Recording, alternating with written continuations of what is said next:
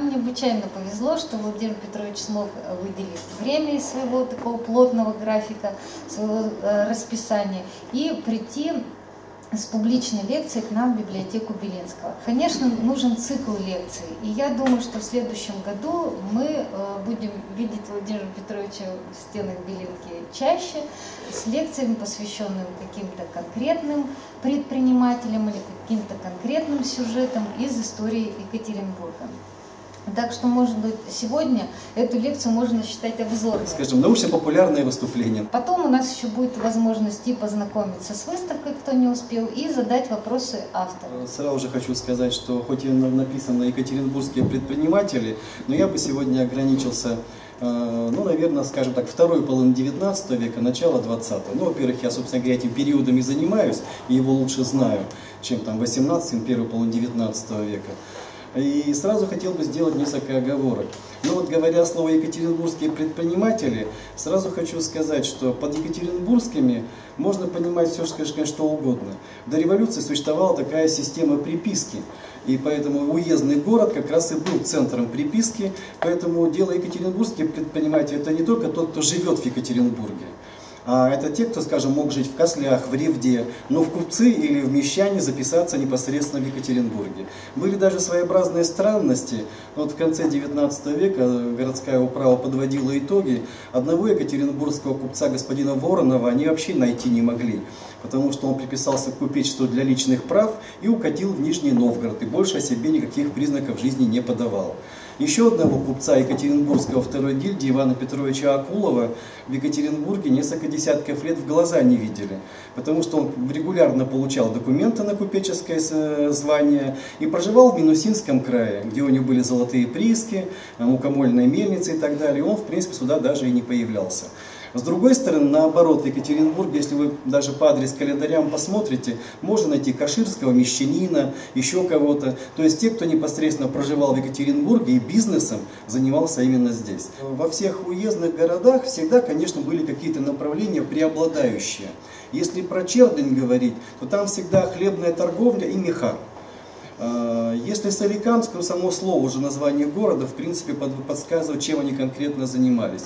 Перемяки, жившие непосредственно на Каме, они большое значение придавали пароходству и разной различной торговле. Кунгуряки – это прежде всего, опять же, хлебная торговля и кожевенное производство. Екатеринбург в этом отношении предприниматели чем отличались? У них тоже были излюбленные направления, которые, скажем так, со временем менялись. Но вот если первая половина 19 века, то, конечно, это слово екатеринбургские сальники, салотопенная промышленность и так называемые еще смрадные заведения. Это вот нынешняя улица Чапаева, э, в этой округе раньше находились эти так называемые смрадные заведения салотопенные, а потом там поселились в основном наиболее крупные богатые екатеринбургские купцы. Плюс золотопромышленность. Вот золотопромышленность носила разный характер, масштабный характер, но э, надо сказать, что к золотопромышленности, наверное, имела большая часть жителей нашего города. Либо они устраивались на прииске рабочими, ну а вообще, знаете, иметь один другой прииск э, даже мещанину было несложно. Вообще-то вот в Уральском горном направлении, недалеко так уже от нас отсюда, регулярно проводились торги, э, на которых участвовали с помощью писем. То есть ну, просто знаешь, какие торги, прииски выставлены, ты пишешь в конверте сумму и отправляешь в Уральское горное правление. Там они вскрывают, подводят итоги, ну и можно было за 2-3 рубля купить прииск. Не очень хороший, конечно, понимаете, что за такую сумму доставался, скажем, завалящий, но тем не менее это процветало, потому что всегда прииск можно было перепродать. И особенно в конце 19 века наши предприниматели, кто был на руку не слишком чист, они с удовольствием перепродавали золотые прииски иностранцам, поскольку те не очень хорошо представляли, что такое Урал, вот, поэтому иногда иностранцев можно было бы и обдурить. Но я могу вам сказать, что кроме золота и золотопенной промышленности, уральские предприниматели екатеринбургские, они оставили след в самых разных видах э, торгово-промышленной деятельности. Я особо обращаю на промышленную деятельность. Потому что наши купцы, наши мещане очень быстро переходили от просто торговли а, к, именно к промышленной деятельности. И причем основали немало заводов, заводиков, мастерских не только в Екатеринбурге и в уезде Екатеринбургском, но и далеко за его пределами. Причем некоторые предприятия были одними из крупнейших э, в Урало-Сибирском регионе. Ну, например, такая, как Рамильская суконная фабрика.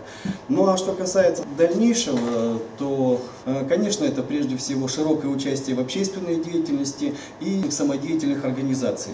У нас их в Екатеринбурге, ну вот, наверное, можно назвать в, в губернии три города. Это Пермь, Екатеринбург, Шадринск, где четыре можно Кунгур еще добавить, где наиболее была развита общественная деятельность. То есть организаций общественности было очень много. И предприниматели, они были в каждом из них. Но я потом по ходу выступления постараюсь показать, чем увлекались наши предприниматели, ну а порой иногда они были зачинателями некоторых общественных движений.